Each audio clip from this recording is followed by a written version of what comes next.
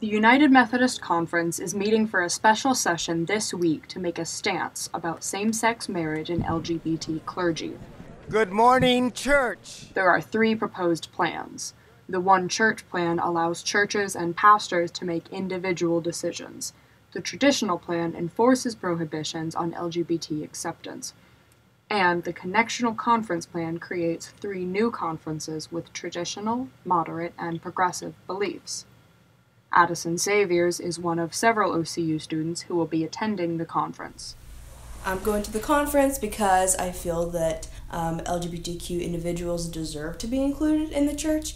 Trina Bowes North, a pastor at Crown Heights United Methodist Church, said she feels like she's serving a church that doesn't represent her beliefs, and she has no idea what the conference will decide. In our discipline, we have language that is problematic that homosexuality is incompatible with Christian teaching. Many people in our denomination are ready to change it. Bowes North said this is a historical decision. The last time there was a special session was in 1968 when two conferences merged, and now there's potential for the conference to split. Reporting for Media OCU, I'm Zoe Travers.